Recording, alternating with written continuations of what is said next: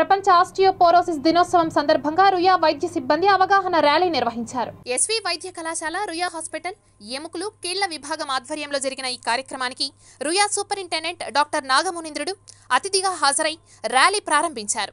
ఈ సందర్భంగా ఆయన మాట్లాడుతూ ప్రతి ఒక్కరూ ఆరోగ్యంగా ఉండి నడవడం చేసినట్లయితే ఆస్టియోపోరోసిస్ అనే వ్యాధి నుండి మనం దూరంగా ఉండొచ్చని తెలిపారు. ఈ కార్యక్రమంలో professor of orthopaedic doctor Haribabu assistant associate ప్రొఫెసర్లు యూజీ పీజీ వైద్య విద్యార్థులు మరియు ఫిజియోథెరపీ విద్యార్థులు పాల్గొన్నారు.